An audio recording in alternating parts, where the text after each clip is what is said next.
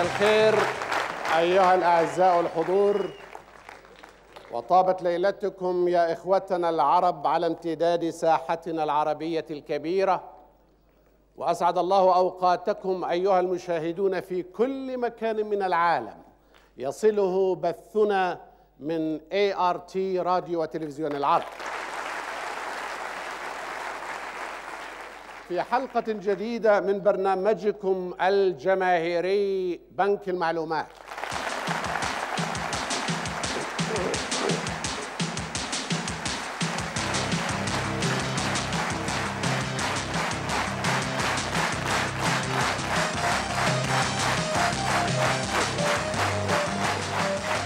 وتعالوا نتعرف على متسابقي حلقتنا مبتدئين بفارسنا للمرة الثانية. تفضل. دكتور أسامة عكا ماجستير طب.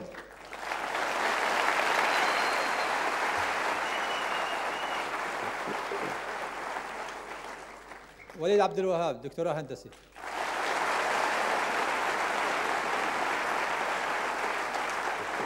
دكتور وليد بتعمل وين؟ جامعة الإسراء. أستاذ في كلية الهندسة. أوكي. أيوه. علي محاسنة بكالوريوس جغرافيا.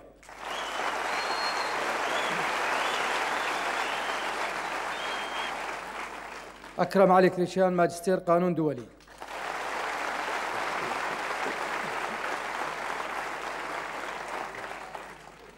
أشرف أسعد محمد ماجستير رياضيات وكمبيوتر.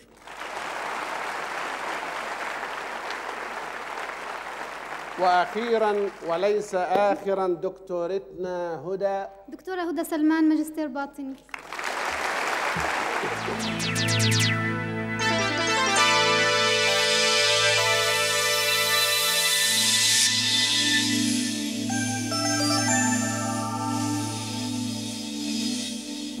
طيب والإخوة في الكمبيوتر يعطونا قطاعات الشاشة الفضية وقد رأينا أنها ثلاثة. وحبون رياضة وأجسام مائية والفرصة كالعادة مهيئة أمام فارسنا ليختار له ولزملائه القطاع والقيمة. بسم الله الرحمن الرحيم. نبدأ أجسام مائية بخمسين. أجسام مائية بخمسين. أوه إيش هذا؟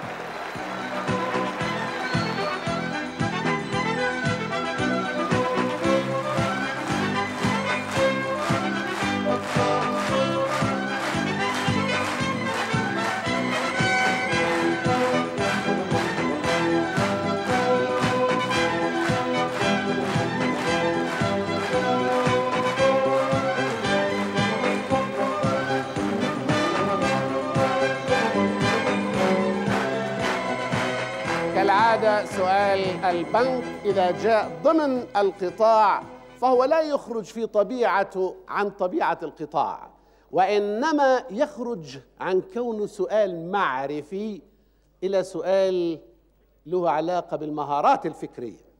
خلينا في الأول نتفق على كم تريد أن تستثمر في الأساس. أنت عندك مئة تستثمر إيش؟ خمسين. خمسين ها؟ ماشي؟ خمسة وسبعين خ- خمس مش غير مية. 75 ماشي 75 75 بعد ما استثمر 75 بدنا تشوف لنا هالضفدع رسام بنك المعلومات جاب ضفدع وركبه على بايسكل على دراجة. والأصل أنه هذا السؤال يا أسامة هذا الضفدع مشى في حاله إلا وقد هوى في قعر بئر عمقه عشرة أقدام. طبعا بده يطلع. البئر كما تعلم جدرانه زلقة فالضفدع حاول حرارة الروح تشبثه بالحياة إنه يطلع إلى أن يخرج. المسكين كان يحاول إنه خلال النهار ومع كل إصراره ومثابرته وتشبثه بالحياة كان يفلح في قطع مسافة ثلاث أقدام ويريح. ويقضي الليلة نائم إلى حيث وصل. يصحى الصبح يشوف حاله وإذا به قد تراجع قدمين اثنين.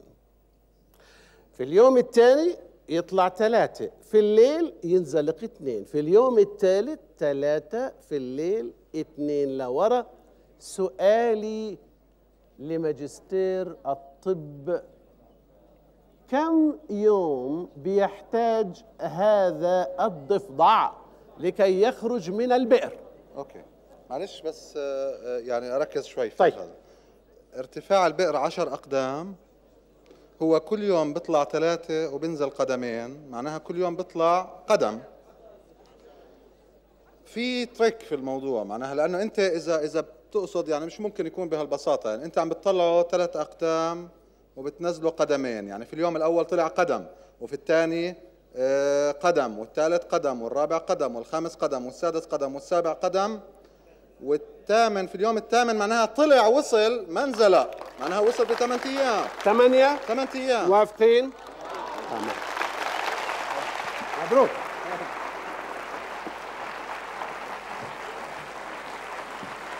أيوة الفرصة الآن ما زالت مهيئة أمام فارسنا. ماذا يريد بسرعة يا أسامة؟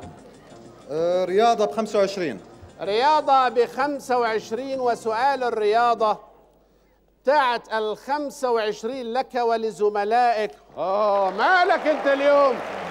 كله. إيش هذا؟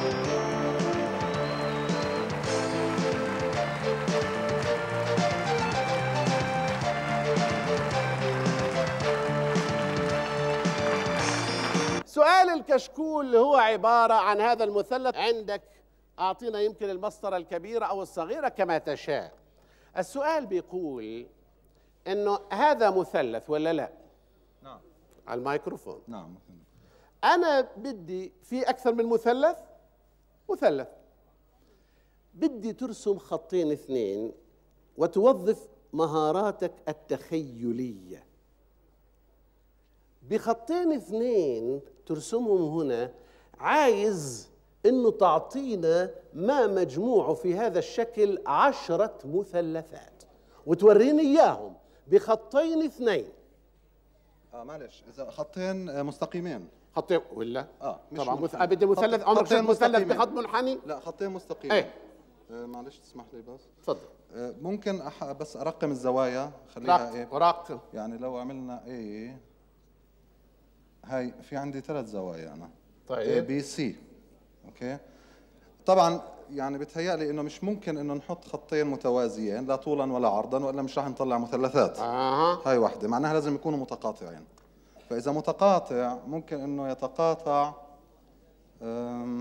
يتقاطع خارج المت... آه عفوا لحظة. أنت بدك خطين بحيث إنه يطلعوا من المثلث هذا العشر مثلثات ولا بالاستعانة بالخط بال... أنا رسمت هذا مش لا على التعيين رسمته وأنا أقصد تستفيد آه، منه إذا أردت. طيب. أنا في كل الشكل. خارجا وداخلا بدي يكون مجموع المثلثات عشرة. معلش أستفيد من هاي. يعني لو عملتها إذا بده يكون متقاطع إما راح يكون تحت الخط أو فوق الخط. بدي أوصله بهذا الخط أو بهذا الخط يعني بأي شكل. على أساس أستفيد من المثلث. طيب. فإذا عملتها إذا عملتها بهذا الشكل هذا خط. عفوا عفوا هذا خط. أوكي؟ هذا خط. طيب. هون في معناها مثلثين. إذا عملتها بهذا الشكل كمان خط. طب بدي أرقم النقط. هذه اي بي سي خلينا أنا أعلق. الحقيقة مجرد إنه ما جابهم يتقاطعوا هنا ويتقاطعوا في الخارج أعطى نفس الفرصة لكي يحصل على أكبر عدد من المثلثات. والحل هذا صحيح. أنا بعطيك جائزة الكشكول لما بتور أنت شكلت عشر مثلثات. باقي توريني وينهم. في إشي متداخل تفضل. بس أرقمهم كمان طيب. معلش. هاي اي بي سي هاي اي بي سي دي اي اف جي اتش اي جي طيب. المثلثات اولا المثلث الكبير A J B. هي واحد. واحد. بعدين عندك مثلث برضه قولها. من مرة و A C I. ولا بصير إيش هذا؟ في مثلث لا، لا، أكبر ولا لا, لا؟ لا لا بس هذا A- هذا بيجيش؟ لا من الاف طيب. اف سي اي طيب اي اثنين. بعدين عندك اي اتش اف ثلاثة. هذا. اللي هم مثلثين متقابلين آه، يعني وهذا أربعة. أربعة. بعدين عندنا هذا خمسة. خمسة. وهذا ستة. ستة. بعدين عندك اي جي اي سبعة. سبعة. بعدين عندك المقابل له دي سي بي هي ثمانية. ثمانية. بعدين عندك جي اي اي واي دي اتش يا سلام عليك.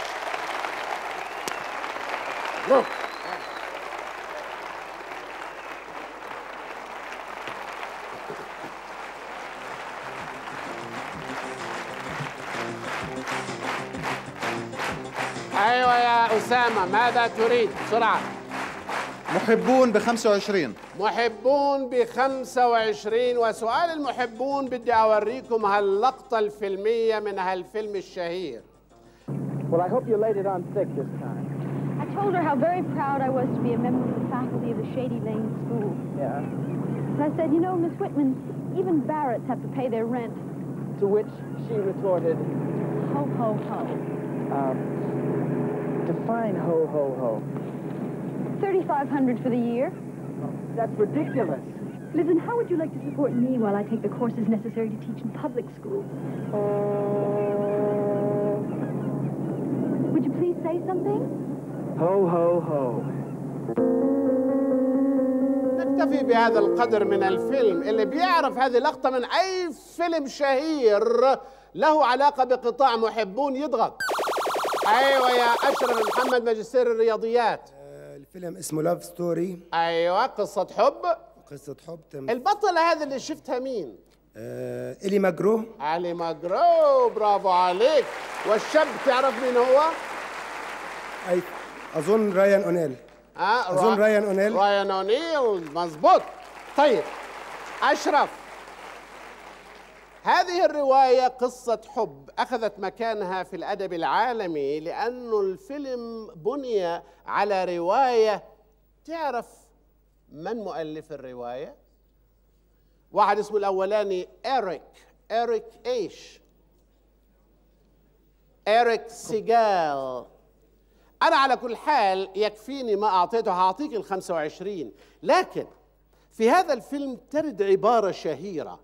بدي أقول لك إياها وهي تكاد تكون الثيم الثيمة تبع الفيلم. قال لك love means never having to say جود باي goodbye لا مش goodbye. بيقول لك love means never having to say you are sorry صحيح. وإلك 25 تفضل. أيوة يا أشرف ماذا تريد؟ أجسام مائية 25 أجسام مائية 25 والسؤال هذا من ثلاثة فروع عن أعمق بحار العالم وأكثر بحار العالم ضحالة وأخيرا عن بحر قزوين. شوفونا الكمبيوتر أعطانا ثلاث أو أربع خيارات. قال لك أعمق بحار العالم هل هو الكاريبي الأبيض المتوسط ولا بحر بيرنج ولا البحر الأحمر واللي عايز يضغط؟ أيوة يا دكتورة هدى سلمان. البحر الكاريبي أعمق يا سلام. أعمق بحار الأعمق هو البحر الكاريبي إجابة صحيحة. طيب أكثر بحار العالم ضحالة هو البحر الأسود يا دكتورة هدى ولا خليج مكسيكو ولا بحر البلطيق ولا خليج هدسون؟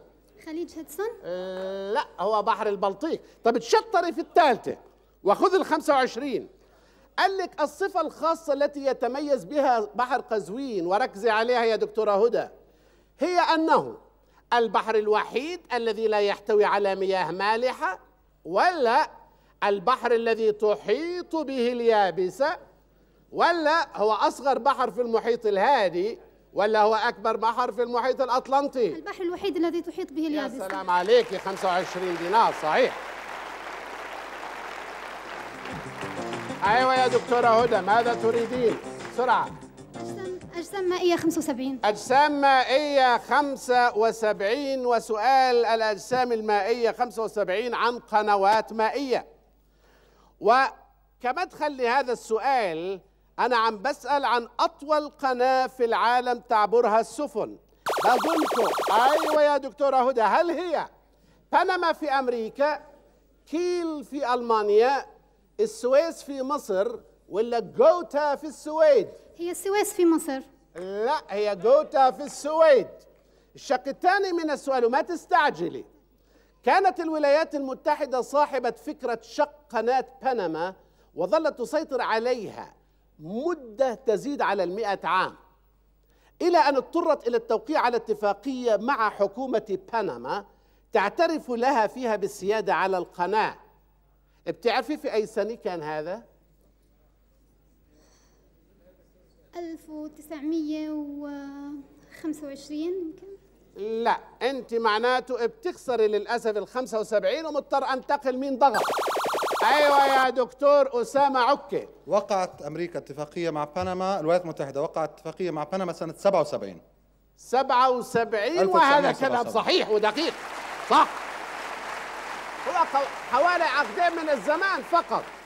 طيب أنا بستمر معك يا دكتور أسامة. هناك بحيرات طبيعية تشكل جزءا من قناة السويس. ما اسم هذه البحيرات؟ البحيرات المرة. المرة صح. باقي شقين إذا جاوبت أي واحد منهم فإلك ال 75 الشق الثالث قناة بحر الشمال التي تربط بحر البلطيق ببحر الشمال تعرف أيضا باسم آخر هو قناة ماذا؟ بحر البلطيق بالشمال. بحر البلطيق مع بحر الشمال تربطهم قناة. في بعضهم بيسموها قناة بحر الشمال لكن إلها اسم. غير قناة بحر الشمال ما بتعرف؟ اسمها قناة كيل كاف يا لام. الآن أنت هذا حتى الآن أنت جاوبت اثنين ما بتخسر لكن بتكسب فقط. إذا طلعت لي على الصورة هذه والسؤال هو عن إيه؟ بقول لك أنا مدينتين أوروبيتين تتقاطع فيهما قنوات مشكلة جزر عديدة. المدينة الأولى اللي فيها قنوات أكثر من 100 جزيرة بفضل هذه القنوات هي أمستردام. المدينة الثانية التي تراها الآن في الصورة وترى فوقها فوق القناة جسر كتير مشهور. فيها هذه المدينة تسعون جزيرة. يا بتقول لي اسم المدينة أو بدي اسم المدينة وإذا بتعطيني اسم الجسر الشهير زيادة الخير خيرين الجسر اسمه جسر التنهدات في مدينة فينيس يا في البندقية سلام يا سلام. جسر التنهدات وهو جسر The Bridge of Sighs وهو من المعالم السياحية التي يزورها السواح عندما يزورون البندقية أو فينيس ويرجعون إلى القطاعات وماذا يريد دكتور أسامة؟ باقي عندنا محبون 50 75 ورياضه 50 75 محبون فمن- 75 إيش هو؟ محبون 75 محبون 75 دينار وسؤال المحبون اللي إلك ولزملائك. أدبنا العربي زاخر بأشعار الحب العذري. وهذا سؤال في أشعار الحب من أربعة فروع. الأول في الزيارة والمحبة قالت العرب زر غبا تزدد حبا. وهذا شاعرنا الفارس العربي يقول في نفس المعنى لا تطلبن دنو دار من حبيب أو معاشر.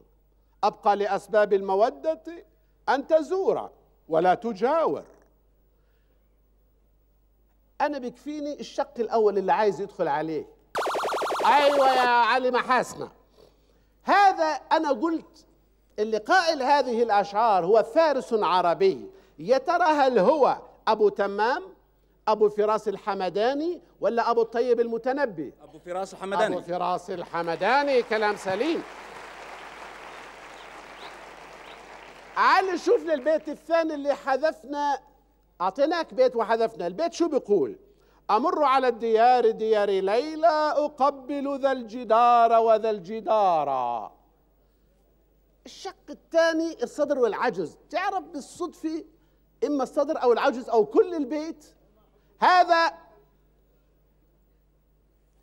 هذا طبعا لمجنون ليلى. أمر على الديار ديار ليلى أقبل ذا الجدار. وذا الجدار وما على الميكروفون صوت عالي. على. الميكروفون. أنا بقدم العجز. آه. عجز البيت. ولكن حب من سكن الديار. ما بكفي بدي أنا الصدر والعجز. ولكن حب من سكن الديار. وما حب الديار؟ وما حب شغلنا الديار. قلبي. ولكن, ولكن حب حب من من سكن الديار. شو بدي في الدار؟ أنا بدي اللي فيها. طيب. أنت جاوبت واحد الثاني لا. جائزة السؤال تتوقف على الشق الثالث يا علي. أنت الآن حصنت حالك ضد خسارة قيمة السؤال. الشق الثالث ولا خليني شوي أنت كيفك والإعراب يا علي؟ لا بأس مليح أمر على الديار ديار ليلى. إيش إعراب دياري؟ بدل هنا. بدل مطابق برافو عليك. نعم. البيت الآن اللي أعطانا إياه الكمبيوتر صدره بيقول وزاده كلفا بالحب أن منعت.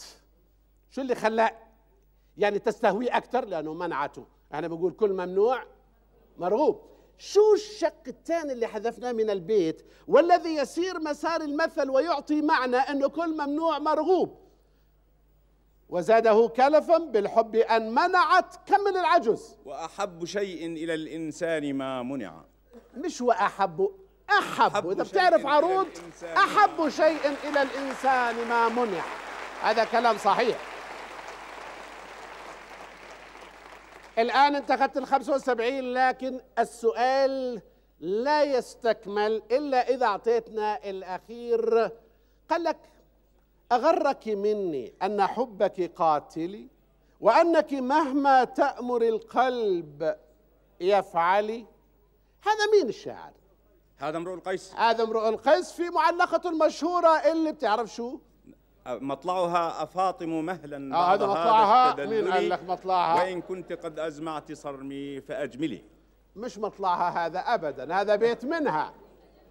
طيب أنا لما قال لك أغرك مني أن حبك قاتلي وأنك مهما تأمر القلب يفعلي في مصدر مؤول هنا يا علي.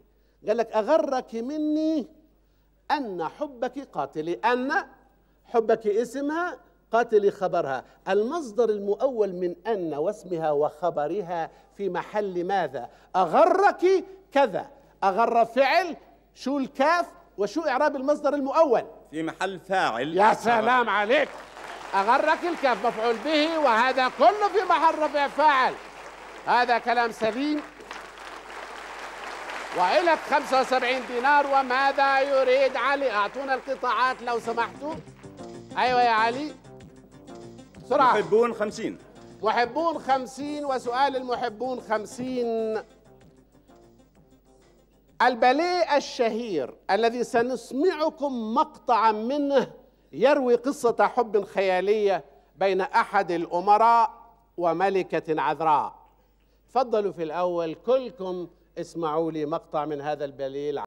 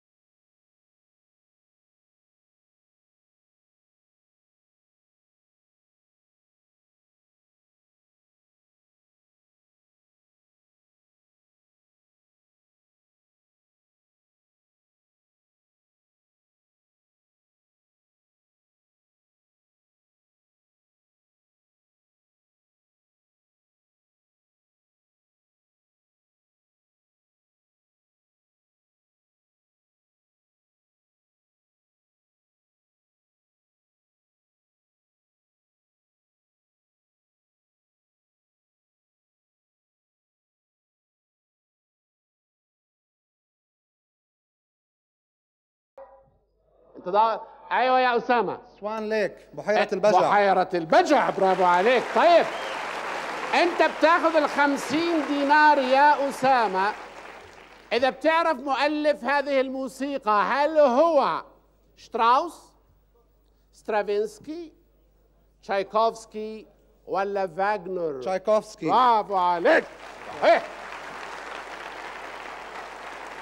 أيوة قلتونا القطاعات وبقي عندنا رياضة خمسين وخمسة وسبعين. ماذا تريد لك ولزملائك؟ رياضة ب 75 رياضة ب 75 والسؤال عن كرة القدم التي نعرفها وكرة القدم الأمريكية. والرجبي الإنجليزية التي طورت منها كرة القدم الأمريكية. السؤال من ستة فروع ولن أخوض في تفاصيله واللي عايز يضغط يتفضل. السؤال كروي أمريكي وعادي ورجبي ولا واحد. كلكم ابدا ما بتعرفوا الفوتبول. أيوه يا دكتور عبد الوهاب. دكتور الهندسة بده يدخل في السؤال الكروي. والشق الأول يا دكتور الهندسة في جامعة الإسراء الأردنية بقول لك في كرة القدم يسمح لحارس المرمى أن يخطو كم خطوة قبل أن يفلت الكرة؟ ثلاث خطوات. ثلاثة ولا أربعة؟ طيب أنا بدي أسألك في كرة القدم الأمريكية فريق مشهور اسمه Redskins وآخر اسمه Cowboys واحد منهم في أي مدينة وخد جائزة هذا الشق. ال Cowboys أو ال Redskins ال Cowboy أعتقد في هيوستن. لا في في في تكساس. ولا في دالاس ها؟ دالاس. هو في دالاس جنب هيوستن ماشي الحال. طيب وال Redskins الحقيقة هو في واشنطن. واشنطن سياتل. طيب الروائي الشهير ألبير كامو تستغرب هذا الروائي العالمي. لعب حارس مرمى لدولة عربية. حارس مرمى كرة قدم. أي دولة عربية؟ ال- المغرب. آه. الجزائر. آه؟ الجزائر. الجزائر. هو لعب حارس مرمى في الجزائر. دكتور وليد قرب لي على الميكروفون. وهذا السؤال أقرب إلى اختصاصك لأنه له علاقة بالأشكال. سؤالي شكل كرة الرجبي كيف هو؟ إهليجي أو بيضاوي. أو بيضاوي صحيح. طيب إحنا العرب بنقول كرة القدم. الإنجليز بيقولوا إيش؟ soccer. الإنجليز. soccer. بيقولوا football. الأمريكان بيقولوا. soccer تمييزا لها عن ال football تبعهم. طيب اللي بيقولوا عن كرة القدم كالسيو. هو اسم الكرة عن مين؟ اليونان ولا الطليان ولا الإسبان؟ إيطاليا. إيطاليا برافو عليك. آه. أنت يا دكتور أنقذت مبروك ال 75 لكن اطلع لي أمامك على الشاشة وشوف لي لاعب هالكرة الدولي الذي يهم بقذف الكرة في هذه الصورة. هذا اللاعب لا مش بيليه هذا اللاعب من موزمبيق ولاعب لدولة أوروبية في مباريات الكأس الأوروبية وكأس العالم. كان يلعب لنادي اسمه بنفيكا. من هو هذا اللاعب؟ أو مين هي الدولة اللي كان يلعب لها في بنفيكا. هذا كله تجملا منك لأن أنت أخذت ال 75 أيوة واحد بيقول يوسيبيو برافو عليك. من وين؟ من موزمبيق ولعب في البرتغال وإلك التصفيق. برافو.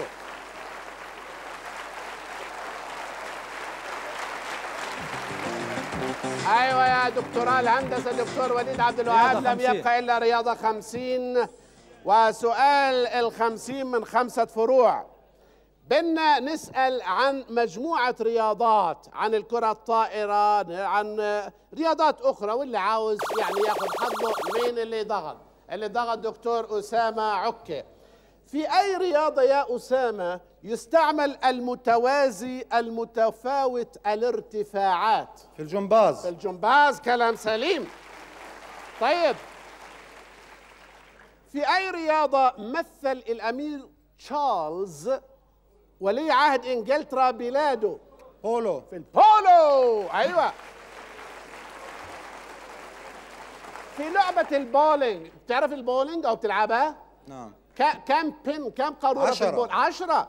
طيب في لعبة البولينج ما هي الكلمة أو المصطلح الذي يطلق على إسقاط العشر قوارير بالكرة الأولى؟ strike strike أو ساحقة. صحيح. أنت بدعت. ثلاثة. هذا أعطينا إياه على البيعة أي الألعاب الأربع التالية في اعتقادك؟ وفي رأي الخبراء. تستنفذ قدرا أكبر من جهد المشاركين فيها. دقق لي فيها. قد يكون السؤال يعني مش كتير حقيقة معروفة لدى الجميع.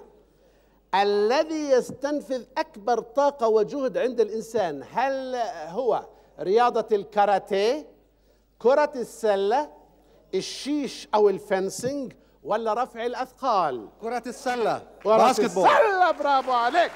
ثبت عند الخبراء أنه كرة السلة.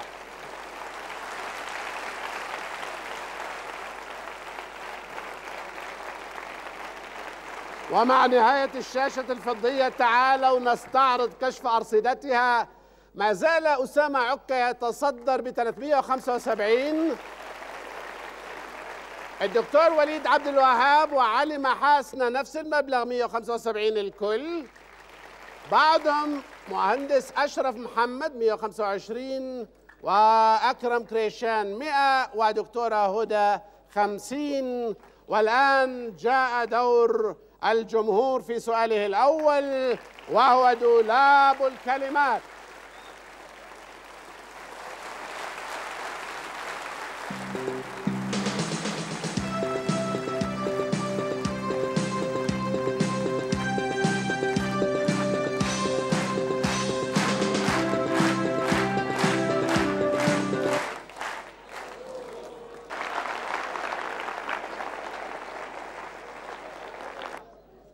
أول شيء أنت جايين وشوية مكشر ليه؟ اسمك إيش؟ رائد محمد هاشم. لا ارفع صوتك.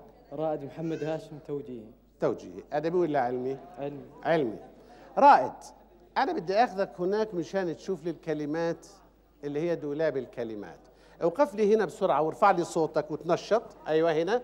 وعلى هنا اطلع. الآن أنت عارف أنه في عندنا الكلمة الأولى اللي هي فيها لام ونون وهي تدل على طائر مائي يوجد قرب المحيطات. فإيش هو؟ هو بيبدأ بألف ولام ثم نون. وبعدين بدك تشوف لي الحروف. راء سين ضاد صاد لام. ما هو الطائر؟ وهو باتجاه عقارب الساعة. أيوه. النورس. النورس! برافو عليك. ارفع صوتك. قرب. هاي الكمبيوتر أعطانا النورس الآن رائد صار في عندك أنت حرفين سين وراء اذا السين تسبق الراء لأنه الكلمات باتجاه عقارب الساعة وهذه الكلمة تدل على واحد ينتمي للمذهب فوق الواقع في الفن والأدب. سين راء وبدك تشوف هنا إذا في عندك حروف إيش؟ لام ويا وايش ما هو الإنسان؟ لو كان واقع بنقول واقعي لكن بقول لك ينتمي للمذهب فوق الواقع ويبدأ بسين وراء. بسرعة سرياني. ها؟ سرياني. ليش أنت دائما خايف؟ قول سريالي سرياني. لام ألف. وهي أيضا باتجاه عقارب الساعة. اذا الألف تسبق اللام ولا اللام تسبق الألف. باتجاه عقارب الساعة. هذه الكلمة من ست حروف بدنا نملأها هنا وبدنا ناخذ الحروف من المربعات. العبارة الدليلية أنه هذه الكلمة من المفاهيم الأساسية في نظرية التحليل النفسي. لا إيش؟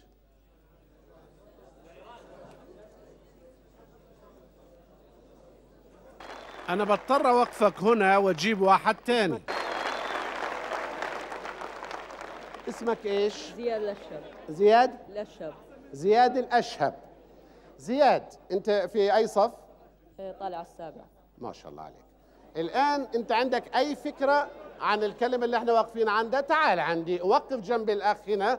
رائد روح على اليسار. زياد وقف جنبه. أعطونا الشكل. زياد الآن الدور عليك. هلا بدنا كلمة سداسية. واحد اثنين ثلاثة أربعة خمسة ستة. تبدأ بلا وهي من المفاهيم في نظرية التحليل النفسي. اللا, إرادية لا في زاد بجوز هلا بنشوف الكمبيوتر في هنا را دال ما في دال. بدك تشوف الدال. في هنا أيوه. شعورية اللا شعور آه لا شعور في عندك شين آه شوف. لا شعور بعدين انت قلت لا شعورية ممكن أحرمك يا زياد. بدكم تعدوا على ايديكم الحروف. لا شعورية بتصير عشرة. لا شعور. ولازم نكون الحروف من هنا. هاي أستجاب. أنت جبت واحدة آه، رائد جاب. الآن الفرصة أمامكم. أنت قرب يا رائد. هلا في عندنا كلمة برضه باتجاه عقارب الساعة. وتبدأ بواو عين. وهي جزء من كلمة تعني دائرة معارف بالعربية. ما هي؟ السرعة. غلط. أيوة. الموسوعة. ها؟ الموسوعة. موسوعة صحيح. برافو. موسوعة. الآن صرتوا اثنين باثنين. هلا اللي بده يفوز قرب يا رائد. هلا بدي مدينة بالعراق. الموصل. ها؟ الموصل. الموصل صحيح. برافو يا رائد أخذها قبلك. طيب. يلا شكرا حبيبي. إحنا ممكن نعطيك هلا جائزة ترضية خليك هنا. وأنت خلينا نعطيك من صندوق الجوائز العينية. اضغط لنا هنا. خليك هنا وأعطونا الجوائز.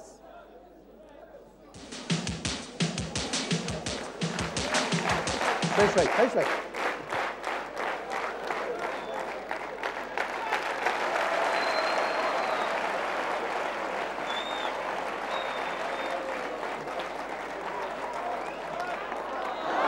غاز مبروك لرائد تفضل روح خذ الغاز.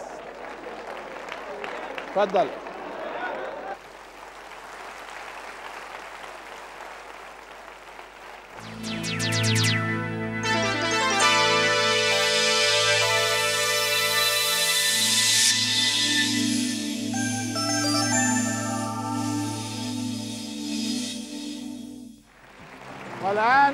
ننتقل إلى الشاشة الذهبية بقطاعاتها الثلاثة آداب مصطلحات سياسية وحقول علمية. وصاحب أدنى رصيد يضغط وينتقي إلى ولزملائه من هو؟ أيوة يا هدى حقوق علمية 150 حقول علمية مية وخ... أوه برافو!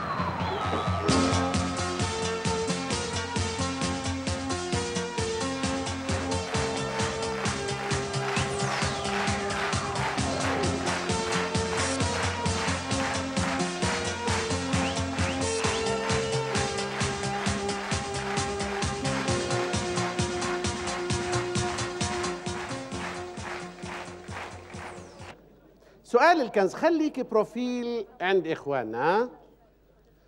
هذا مثلث مثلث ماله؟ قائم الزاوية.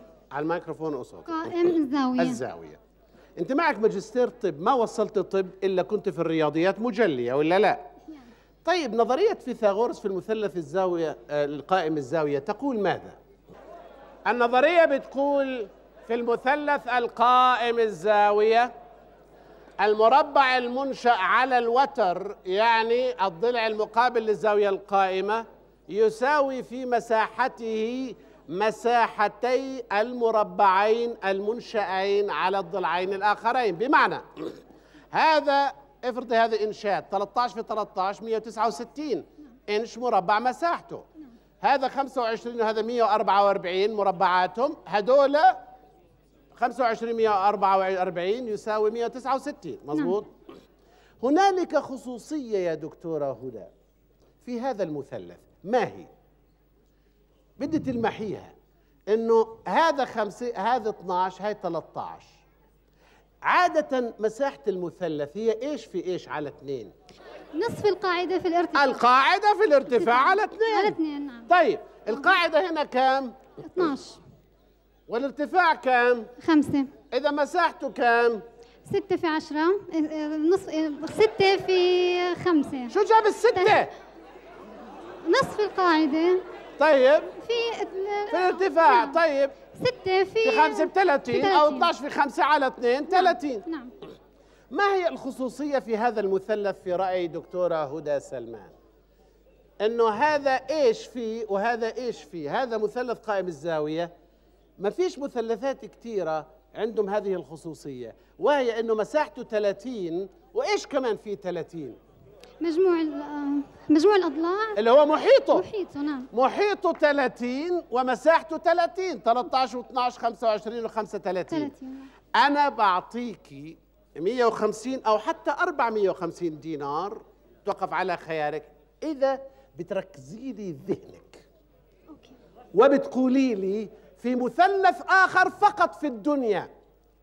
اللي هو هذا اللي تجتمع فيه نفس الخصيصة بمعنى إنه مساحته ومحيطه مجموع محيطه هما نفس العدد.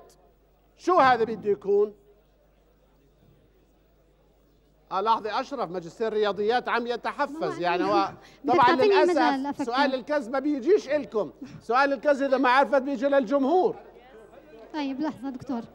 آه خليني أفكر بالموضوع. طيب. أنت بدك يكون المساحة كمان بتساوي مجموع الأضلاع. بالضبط. ال- آه، المساحة أه؟ المساحة ومجموع الأضلاع أو المحيط كما هنا نعم. متساويان يعني نفس العدد أو نفس الرقم. يعني ناخذ آه نص في في ضلع من نص ضلع منه ضرب واحد من أضلاعه. أنا قولي لي شو محل هل علامات الاستفهام بده يكون أعداد؟ لا تقولي لي بناخذ طيب. ولا بنعطي. وصل منافسك للأسف وبنخسرك 150 دينار. تفضل.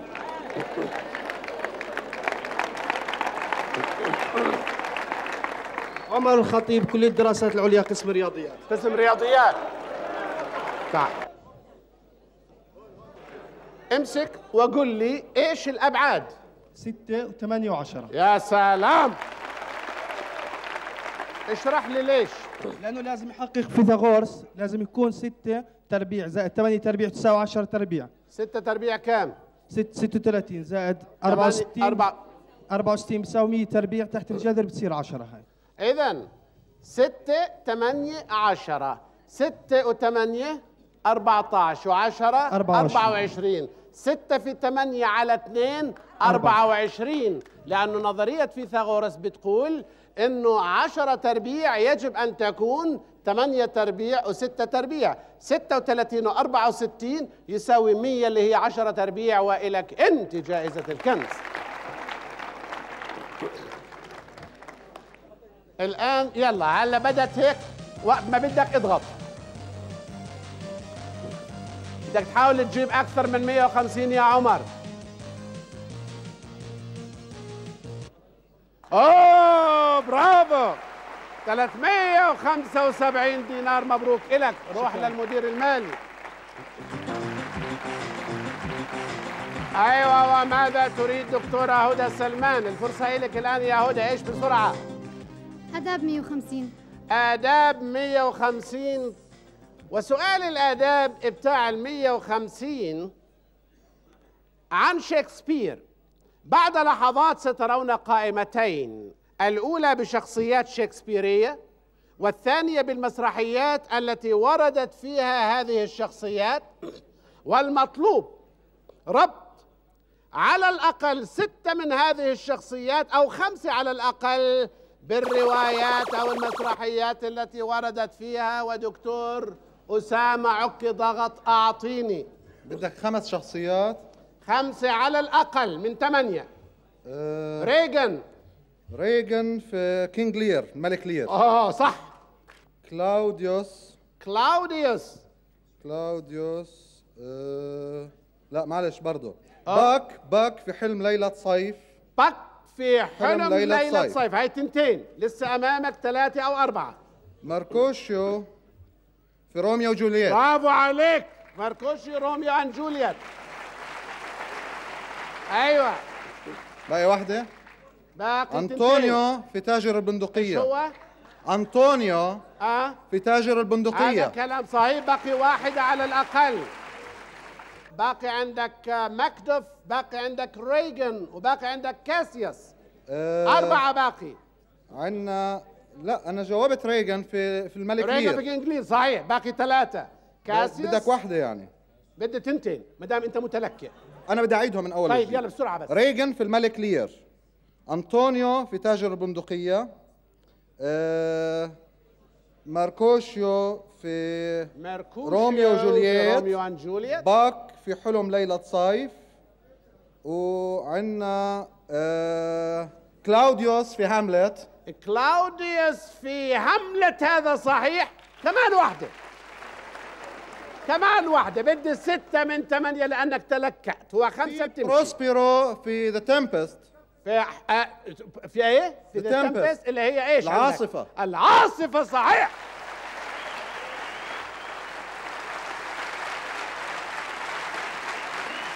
أعطونا جواب الكمبيوتر لو سمحتوا هاي الكمبيوتر حط لك اياهم ريغن ال King Lear كاسيوس يوليوس قيصر ماكدوف ماكبث كلاوديوس هاملت أنطونيو تاجر البندقية ماركوشيو روميو وجولييت. باك حلم ليلة صيف وبروسبيرو The Tempest أو العاصفة. وخلطونا القطاعات وماذا يريد اسامه عك مرة ثانية مش قطاع. آه، آداب 100 آداب مئة هذا السؤال عن بديع الزمان الهمذاني الذي انقطع إلى الاشتغال بالأدب والاطلاع على أسرار اللغة وكشف مكنونات البلاغة. اللي بيعرف اسم الكتابة الفنية التي برع فيها الهمذاني وهذا مدخل فقط للسؤال. يتفضل أيوة علي محاسنة السجع. هل سجع؟ المقامات في فن المقامات. يعني عندك أنت في رأيك السجع زي لا المقامات عفوا. هو برع في فن كتابة المقامة العربية. طيب. نعم. المقامات. طيب إلى جانب بديع الزمان مين أيضا برع في كتابة المقامات؟ الحريري. الحريري والهمذاني. طيب. يحكى وهذا هو الشق الأخير من السؤال وعليه بعطيك أو بقسم عليك مئة. يحكى أن الحريري كان دميما فجاءه شخص يزوره ويأخذ عنه شيئا. فلما رآه استزرى شكله استخف به. وفهم الحريري ذلك. فلما التمس الشخص منه أن يملي عليه شيئا أي يأخذ من علمه قال له الحريري اكتب وأملى عليه هذين البيتين اللذين ستراهما بعد لحظات على الشاشة. قال له ما أنت أول سار غره قمر ورائد أعجبته خضرة الدمن فاختر لنفسك غيري. إنني رجل مثل فلان فاسمع بي ولا ترني سؤالي. ما هو المثل العربي الذي استلهمه الحريري في عجز البيت الثاني؟ وقمنا بحذف اسم الشخص الذي يضرب به المثل فقالت العرب أن تسمع بمين خير؟ بالمعيدي. المعيدي. والك علامه السؤال صحيح.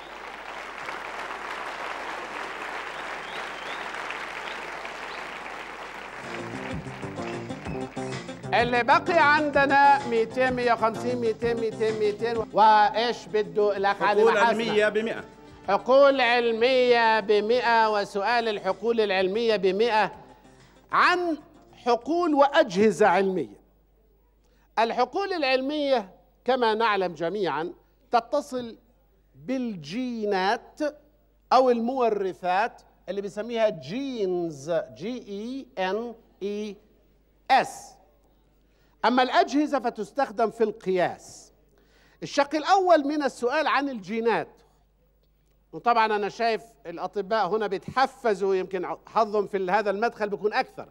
ما تضغطوا إلا عندما أنهي الشق الأول. في علم الأحياء ندرس الجين ومن الجين جاءت علوم ثلاثة أو حقول علمية ثلاثة. هي genealogy genetics وeugenics genealogy how do we spell it? G E N E A L O G Y genetics وeugenics المطلوب اللي بيعرف إنه يقول لي اثنين من العلوم الثلاثة بيبحثوا في إيش وإيش ويضغط. أيوه يا دكتورة هدى. Genetics هي ال- الجينز that transmitted to the offsprings. يعني هي المادة التي تبحث بالمادة التي تتوارث. علم الجينيتكس هو علم إيش بالعربي؟ الوراثة. علم التركيب الوراثي أو علم الوراثة يعني أي الخصائص المورثة للكائن الحي وأنا أقبل هذا الجواب. صحيح. دكتورة هدى قولي لي الشق الثاني. أنا بدي علمين. Genealogy هو تركيب الجينات. أه، هلا صرت تحكي يعني- كلام آه.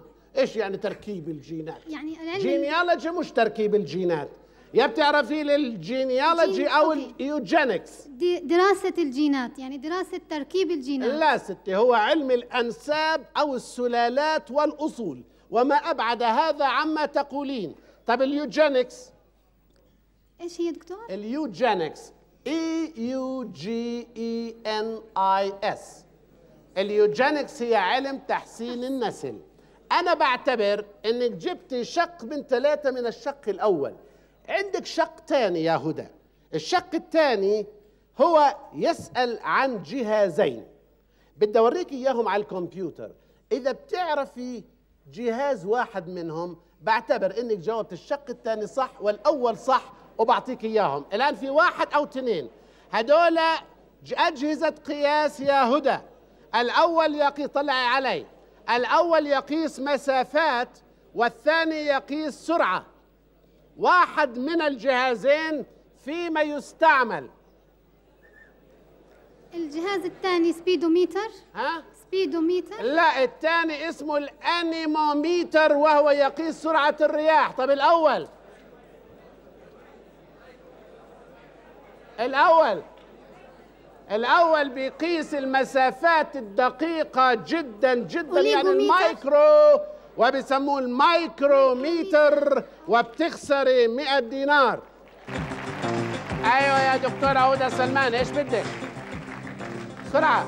مصطلحات سياسية 150 وليش بتوطي صوتك؟ مصطلحات سياسية 150 الآن المصطلحات السياسية زي ما بتعرفي أنت وزملائك بنقول في عنا ال democracy هي حكم ال demos اللي هم حكم الشعب.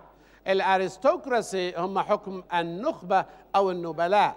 الكمبيوتر بده يعطيكي حوالي سلسلة سبعة أو ثمانية كلهم من أنواع الحكم وكلها بتنتهي ب A C Y حطينا أمامهم لا على الترتيب حكم كذا حكم كذا حكم كذا. مطلوب اللي بده يدخل إنه يجاوب على أكثر من النص وتفضل اضغطوا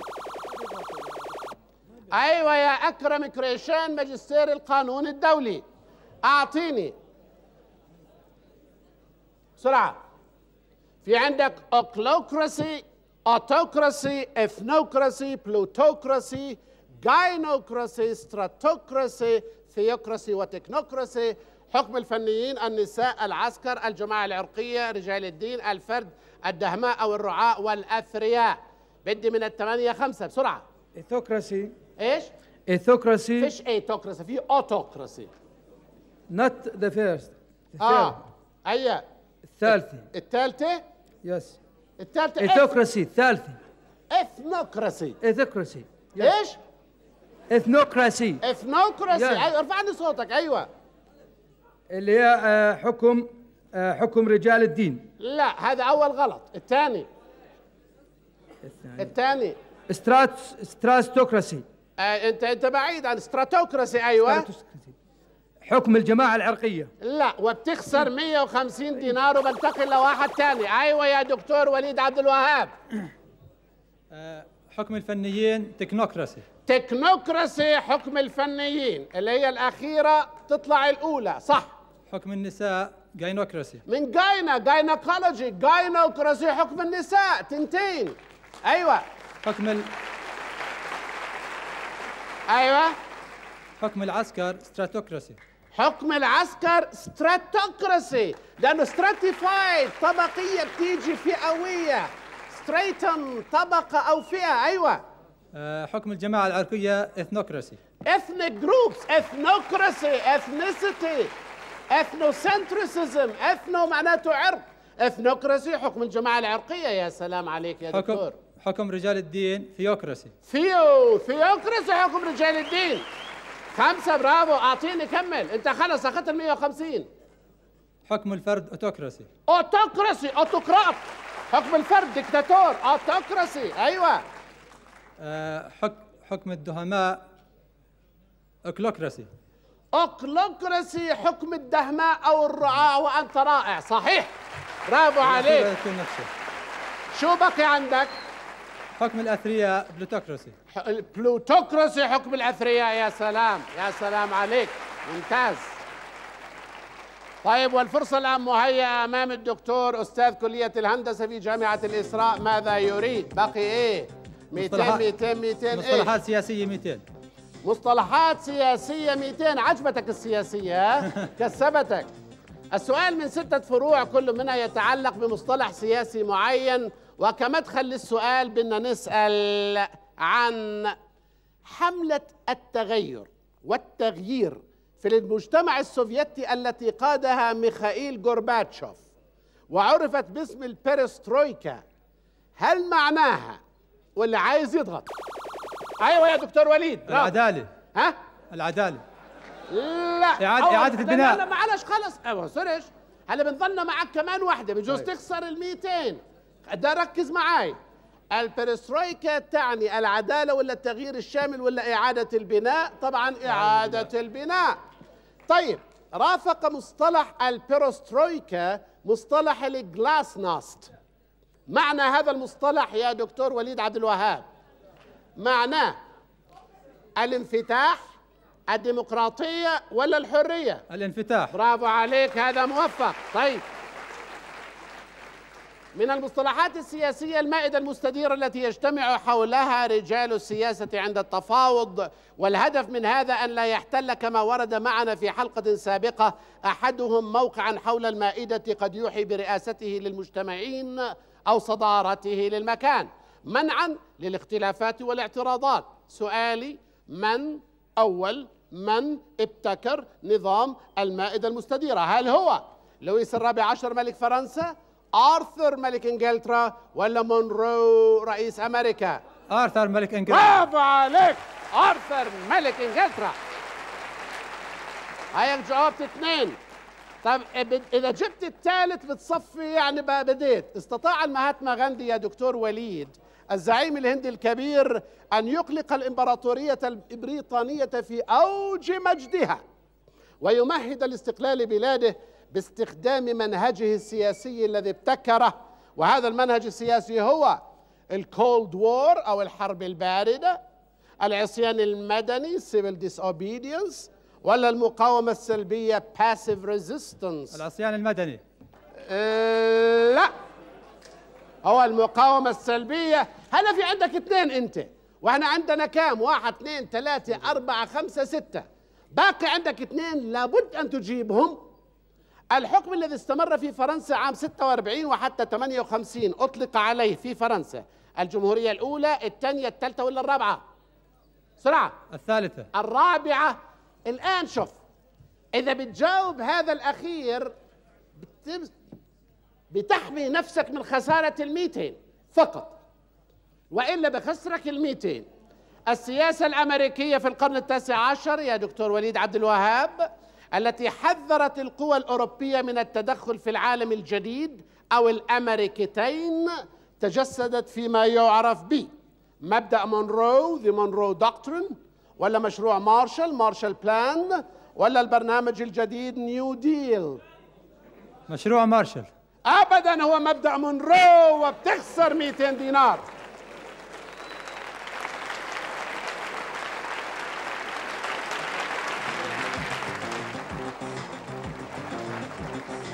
أيوه ماذا يريد الدكتور وليد عبد الوهاب بسرعة؟ حقول علمية 200 حقول علمية 200 وسؤال الحقول العلمية لك ولزملائك عن عشرة علوم أو حقول علمية في مجال الطب والأدوية والعقاقير.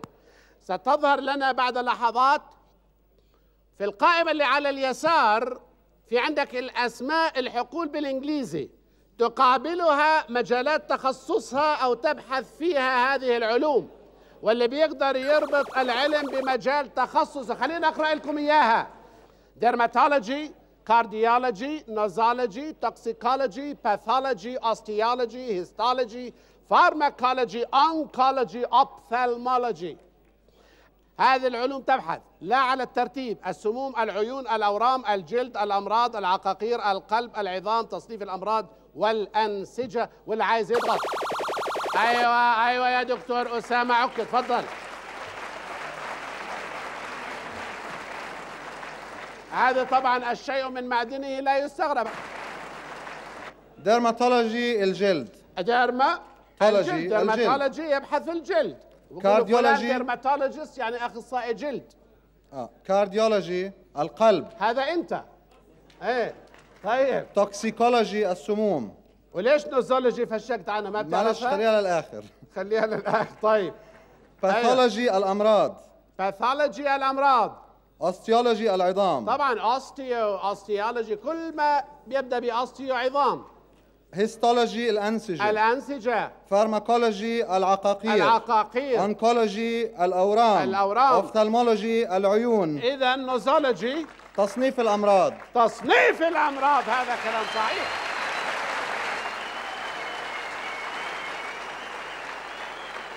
هاي اعطانا الكمبيوتر الحل. واعطونا الآن بقي عندنا آداب فقط بقي عندنا آداب ب 200 دينار وحنسأل هذا للجميع. سؤال الآداب أبو ال 200 دينار وهو آخر أسئلة هذه الشاشة. كلها عن البلاغة وهو عن علمي البيان والبديع في لغتنا العربية وتحديدا عن الكناية التشبيه الجناس والتورية.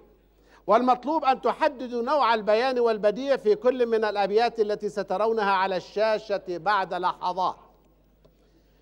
أعطونا يا إخوانا في الكمبيوتر أول مجموعة أبيات. قال لك هذا أبو الفتح علي ابن محمد البستي.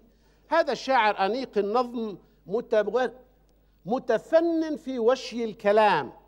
فاسمعوه يقول إن هز أقلامه يوما ليعلمها أنساك كل كمي هز عامله وإن أفر على رق أنامله أقر بالرق كتاب الأنام له لاحظ أفر على رق وأقر بالرق الرق والرق. ولاحظ أنه أن أفر أنامله والأنامله ما هو نوع البديع في هذا البيت اللي بده يدخل؟ أيوة يا علي. هنا جناس. هنا جناس. وينه؟ الرق والرق نعم. الجناس كيف الجناس الأنامله وأنامله الأولى على أنامله أصابع المقصودة هنا. أيوه. قال لك وإن افر على رق على قطعة جلد أنامله بالكتابة أقر بالرق بالعبودية له كتاب الأنام. الأنام بمعنى الخلق أو العالم. طيب. والرق والرق إحنا حكيناها اللي الرق جلد رقيق يكتب عليه والرق هي العبودية. طيب. البيت الثاني بدي اظلني معك. قال بدر الدين الذهبي هذين البيتين وفيهما بديع ما هو. قال لك رفقا بخل ناصح أبليته صدا وهجرا. وفاك سائل دمعه فرددته في الحال. نهرا. في هنا نهرا. واحد إجا وأنت تقول له لا وتصده وتهجره وتنهره وتنهره وتصده فمن كثر ما بكى وفاك سائل دمعه رددته في الحال. نهرة نهرة بتحتمل إيش وما نوع البديع هنا؟ هنا عندنا تورية. يا سلام عليك. لأنها بتعني اشرح- اشرحها النهر مجرى الماء الغزير بينما النهر من نهر ينهر بمعنى زجر أو صدر. النهر زج طب هو الشاعر هنا قصد النهر الماء ولا قصد النهر مصدر نهر بمعنى زجرة لا هون بيقصد فرددته في الحال نهرا إنه دمعه إجراء انهار دمعه صار نعم، نهر. لأنه هو اللفظ هنا له معنيان. في التورية اللي يقصد معنيان الأول قريب ظاهر نهر ينهر نهرا وهذا غير مراد. وبعيد خفي وريناه بمعنى سترناه وهنا وجه البلاغة وهو المراد. فهو قال لك معنى نهر القريب الزجر إنه مهد واحد بيسأل زجرته روح. هذا مش المقصود لأنه لما بيجي بيقول له وفاك سائل دمعه؟ فرددته في الحال نهر زي نهر النيل والشق الثاني انت أخذته. بقي إنك تعطيني الشق الثالث وتأخذ 200 دينار. قال أبو الطيب المتنبي فإن تفق الأنام وأنت منهم فإن المسك بعض دم الغزال. هنا في هذا البيت تشبيه اي نوع هل هو بليغ؟ تمثيل ضمني مقلوب ولا ولا واحدة من هدول وما هوش تشبيه على الإطلاق. تشبيه ضمني هنا. ليه؟ صح. لأن المسك بعض دم الغزال وليس كل دم الغزال. يعني بمعنى أنه هنا التشبيه أو نوع منه لمح من التركيب ولم يوضع بالصيغة العادية. هو شو معنى البيت هنا؟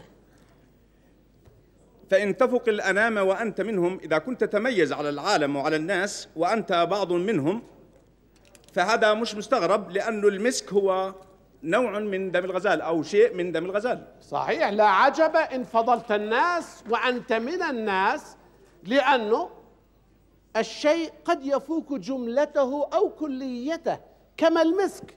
فإنه بعض دم الغزال وهو يفضله وأنت من الناس وقد تفضلهم. وأنت أخذت الميتين دينار. باقي باقي. إن تشوف لنا الأخير فقط للفائدة قال المعري في السيف. سليل النار دق ورق حتى كأن أباه أورثه السلالة. هنا ما نوع البيان في سليل النار؟ أنا بقول لك إياه هنا في كناية. ممكن تشرح لي كناية عن موصوف وهو السيف بس تشرح لي البيت إيش يعني؟ سليل النار أعتقد هنا الكناية إنه السيف آه، يحرق أو يحمى بالنار حتى الحديد حتى يلين ويطرق سيف. ويصير أهيف ويصير. دقيق ورقيق. لأنه السليل هذا هو الولد. طب كيف بقول لك أورثه السلالة؟ سليل النار دق ورق. لما تحط الصلب أنت مع النار بتقومه فدق ورق. فبقول لك كأن أباه أورثه السلالة زي ولد نحيل ونحيف. مصاب. بداء السل المعروف الذي يضني الأجسام فتصبح مرهفة كالسيف. فالمعري يقول إن السيف هو وليد النار وقد رق جسمه حتى إنه ليشبه ولدا مسلولا. قد ورث السل عن أبيه. طيب أنت عرب لي أنت عرفت مرة واحدة. لما قال لك سليل النار دق ورق حتى كأن أباه أورثه السلالة. اعرب لي أباه ب 200 دينار. أباه اسم إن منصوب. وين إن؟ آه ك... عفوا. كأن ها؟ لأنها من أخوات إن. ها؟ وهو منصوب إيه؟ بالألف لأنه من الأسماء الخمسة. طيب والهاء؟ آه ضمير مضاف في محل جر مضاف إليه. ضريب متصل مبني على الضم في محل جر. طيب ك... والجملة الفعلية أورثه السلالة.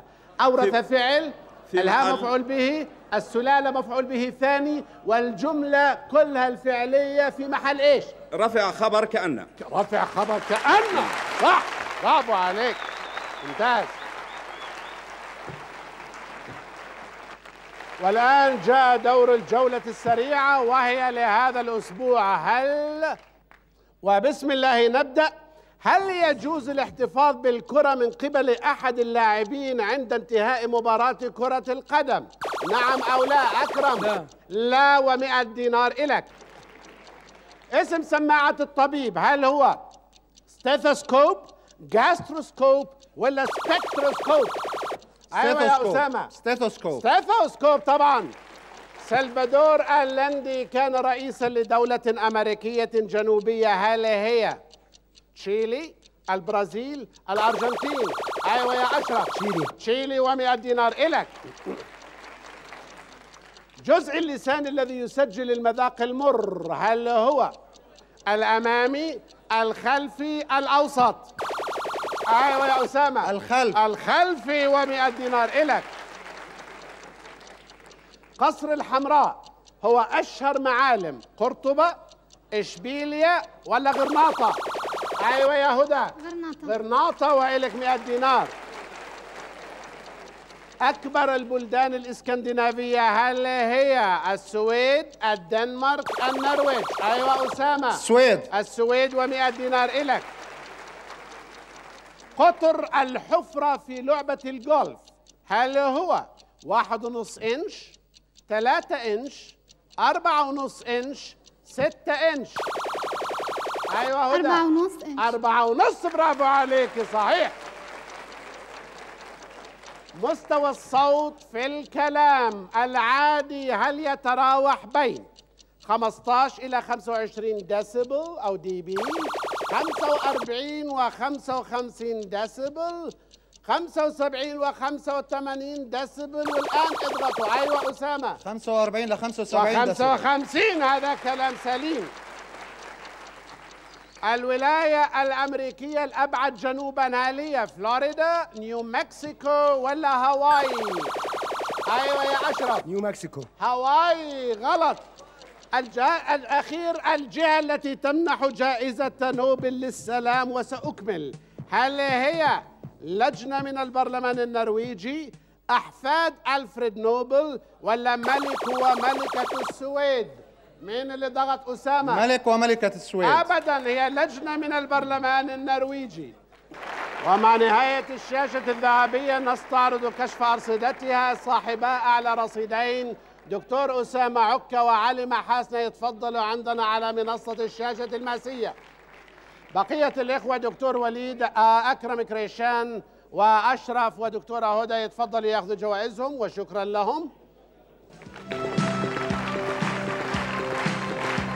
والآن إلى السؤال الجمهور الثاني وهو لهذا الأسبوع الشكل المفقود.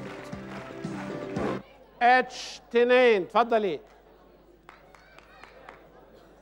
نتعرف عليكي. هناء السائح Sight and Sound سكرتاريا دبلوم إيش Sight and Sound ما فهمتها مركز الصوت والصورة. وين هذا؟ بشمساني. طيب. ندرس دبلوم سكرتاريا كمبيوتر طيب. هناء السائح. هناء تعالي أوقفي لي هنا جنب الميكروفون. وشوفي لي الأشكال. بدي تستعملي كل فطنتك ولماحيتك وتستدلي من الملامح المختلفة التي سترينها في الأشكال. أعطونا الأشكال لو سمحتوا الأشكال تسير من اليسار فالوسط. الأشكال تسير من اليمين فالوسط فاليسار. وكذلك نفس الشيء وهي تسير أيضا في صفوف أفقية وتسير في خطوط عمودية. بنلاحظ إيش؟ كل شكل مختلف عن الثاني في إيش يا هناء بالخطوط. آه كل واحد في نهايته خط, خط وفي واحد ثاني خطين وفي واحد خطوط. ثلاثة. نفس الشيء هذا يتكرر في العمود.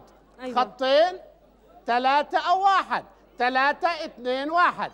هذا أحد الملامح اللي بدي تركزي لي عليهم ماذا عن الكروس. بار هذا إيه. اللي بيصل بين منه الكرتين؟ عمودي منه عمودي منه لفوق منه لتحت آه إما بيكون مستقيم أو بيكون منحني إلى أسفل أو إلى- أو منحني أو إلى, إلى أعلى. أعلى.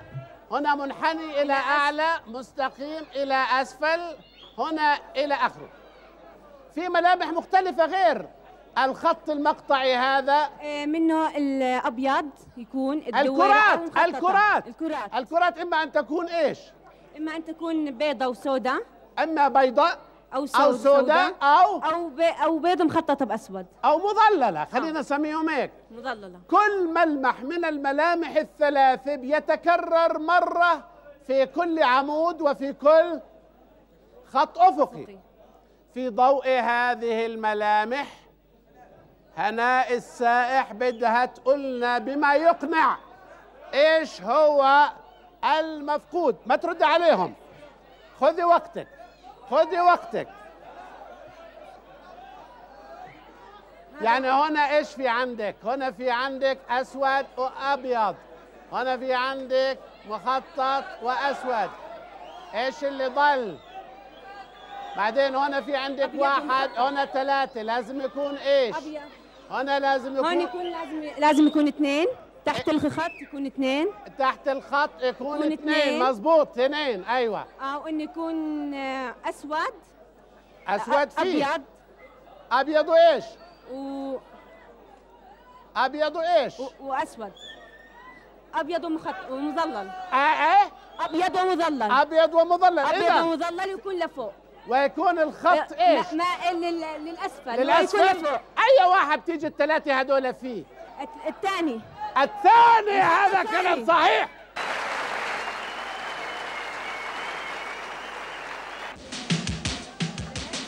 شوي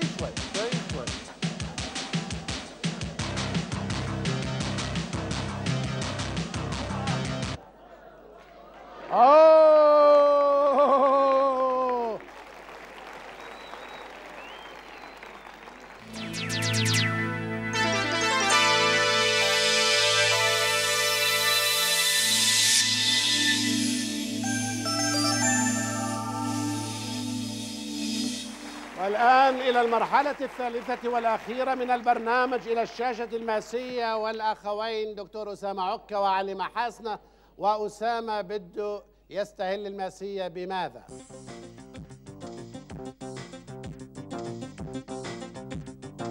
مصطلحات سياسية وسؤال المصطلحات اللي عايزين نسألك إياه في الماسية عن الوحدات التي تكون الاتحاد الكونفدرالي السويسري. أعطنا المصطلح السياسي الذي هو اسم لهذه الوحدات إما تعطيني إياه بالجمع أو بالمفرد وخذ ماسة بالجمع وبالمفرد الكانتونات كانتونز. الكانتونز الكانتونات صحيح. أيوه يا علي. لاحظ عندما تستقر بيكون أمامك إنك أنت تشكل استراتيجية في اللعب ضده. أيوه. أنت تسأل. أنت تسأل. ال... الكسي ليونوف هو الجواب. ولو بدي أحط لك الجواب بشكل أكمل بقول لك الجواب يا علي هو الكسي ليونوف وذلك في مارس 1965 ما هو السؤال؟ هذا اجى معنا في حلقات ماضية وحطيناه في فضاء وكان هو أول رجل يمشي في الفضاء. فالسؤال هو من كان أول رجل يمشي في الفضاء ومتى؟ الجواب الكسي ليونوف في مارس 1965 إلى دكتور أسامة عكا ماذا يريد. مع استقرار القطاعات. وقد استقرت. أيوه يا أسامة. أنت تسأل. أنت تسأل. وأنت تسأل الجواب كابيولت الجواب كابيولت ما السؤال؟ السؤال ما اسم عائلة جولييت في Romeo and Juliet؟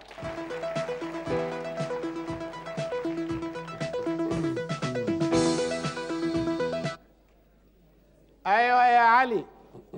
آداب. آداب. سؤال الآداب لعلي. أديب إيرلندي كبير من أشهر مؤلفاته مروحة الليدي ويندرمير Lady Windermere's Fan يروى عنه أثناء إنهاء الإجراءات الجمركية لدخول أحد الأقطار التي زارها. سأله موظف الجمرك. هل معك أشياء ممنوعة يا سيدي؟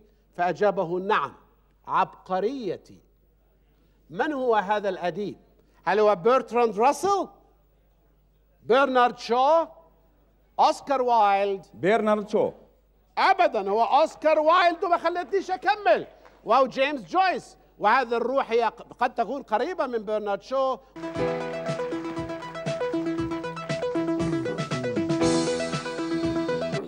أيوة علي. آه أسامة. آه، محبون. محبون بيحاول إنه يعمل خط أفقي فيما يبدو وسؤال المحبون هو هذا المقطع من أوبرا شهيرة لموتسارت. اسمع لي المقطع.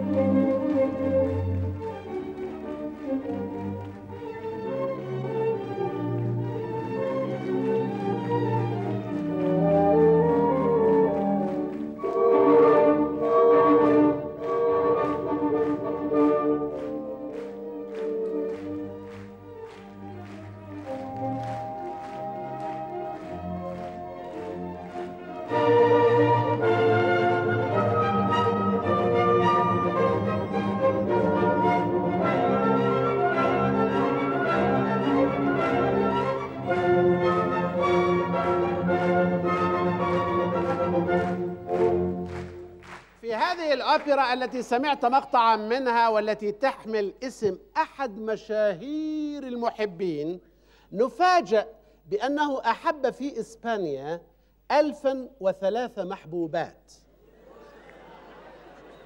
من هو هذا المحب؟ دون جوان. دون جيوفاني بيقولوا له في الطلياني صحيح والأوبرا اسمها دون جيوفاني أيوة بده يتنبأ علي محاسن الآن بدك تلعبها. صح يا علي؟ إيش يا علي؟ آداب. طبعا بده يقطع عليه في الآداب. وسؤال الآداب بكرت تخوفني الحتوف كأنني وخلي الكمبيوتر يعطينا البيتين هدول إذا أمكن. شوف لي البيتين اللي أمامك هدول يا علي.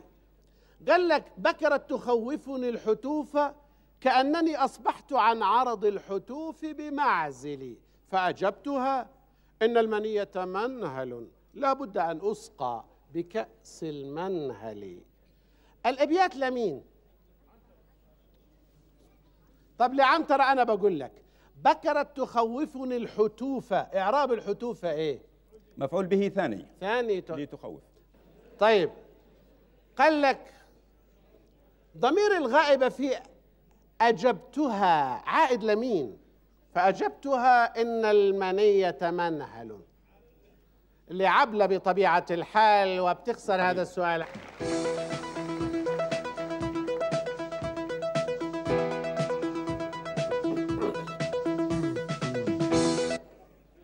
هذا الكشكول بدي أجيبك على اللوح تعال معي. يا بيعملك فارس يا بيوضع بينك وبين الفروسية سور الصين العظيم.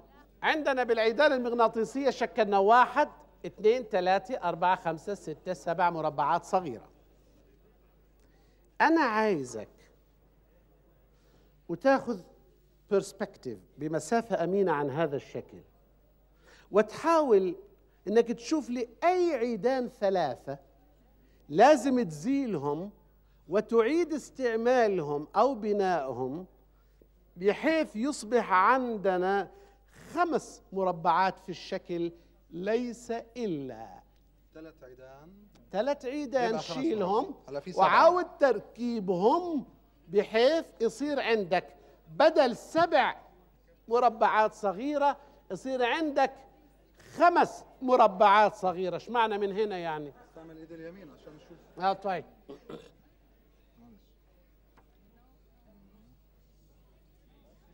والله إنه صح. بداية موفقة. مش نو لا يس أها. واحد. آه آه. بعرفش آه آه. لحظة لحظة طيب طيب طيب. طيب. هذا أول واحد خليته. هون آه أوكي خلص خلص آه آه آه. يا سلام عليك يا سلام عليك.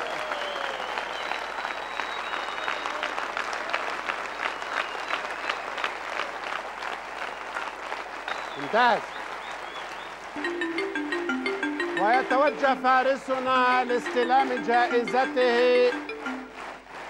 ومن ثم يأخذ مكانه في قمة هرم المتسابقين في الحلقة القادمة. جائزة 2250 دينار مبروك. وتحية للأخ علي محاسنه ويتفضل يأخذ جائزته مبروك. تهانينا لفارس الحلقة. وخالص مودتنا وامتناننا لجمهورنا الأردني الكبير وتحية شكر واعتزاز للإخوة المشاهدين على امتداد الوطن العربي وسائر بقاع العالم التي يغطيها البث الفضائي لراديو وتلفزيون العرب. أيها الإخوة من الأعماق شكرا لكم وإلى اللقاء.